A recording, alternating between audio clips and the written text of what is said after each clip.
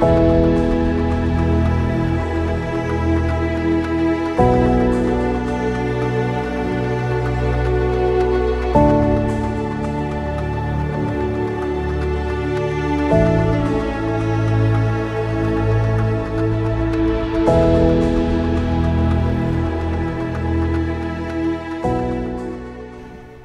everyone to the long-awaited celebration of the marriage of Pfeiffer and Shawn. Normally, I would begin my welcome after the bride's father has been seated, but the moment when the bride is presented by her parents is often one that happens quickly and without much focus. However, it is a moment of great significance and deserves more attention and recognition than is often given. The hand in marriage that Farrell with Kathy's love and blessing intends to give to Shawn this evening is not just the hand of his oldest daughter. It is the hand he held just moments after she was born. It is the hand he held when he walked into her first day of kindergarten. The hand he held through every scary movie, every soccer, tennis, or basketball loss, every heartache, every challenge that comes with growing up in this world. It is the hand that frightfully handed a set of car keys when she turned 16 and watched her drive off on her own for the first time.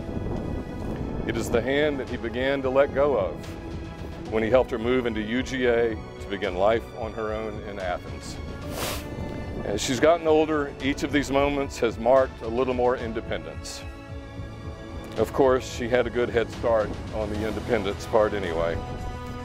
And today is the day he lets go of Pfeiffer's hand for the last time as just his daughter. Today, Pfeiffer chooses another hand to hold for the rest of her life, while never forgetting the first man to hold her hand in comfort, protection, and love. Farrell and Kathy are trusting the comfort, protection, and love of their most treasured blessing to someone else. And I think we can all agree that Shawn is the perfect man to carry the torch from here. So with that said, I ask, who gives this woman to this man? Her mother and I do.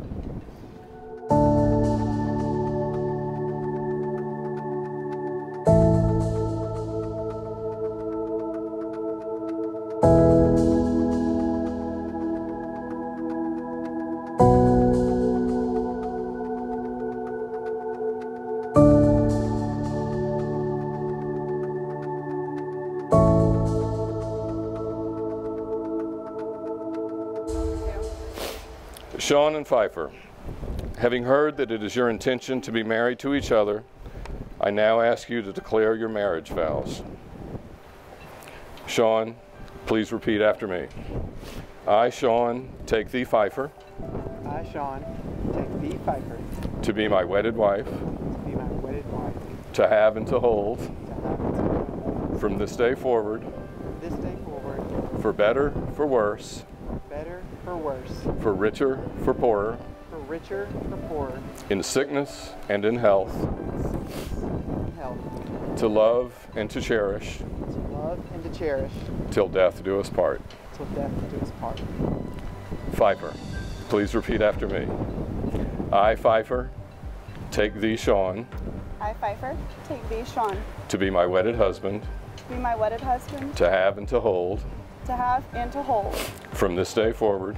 From this day forward. For better, for worse. For better, for worse. For richer, for poorer. For richer, for poorer. In sickness and in health. In Sickness and in health. To love and to cherish. To love and to cherish. Till death do us part. Till death do us part.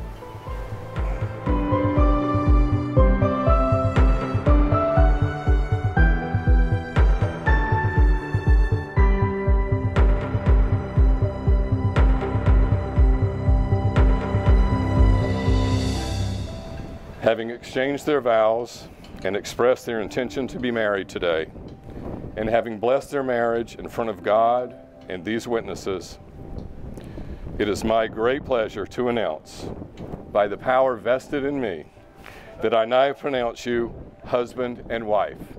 You may kiss the bride.